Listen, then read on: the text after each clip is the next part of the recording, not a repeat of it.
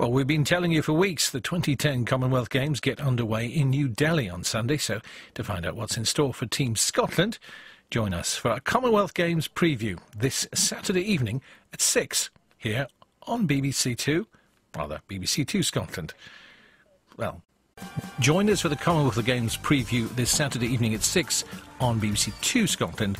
This is BBC One Scotland.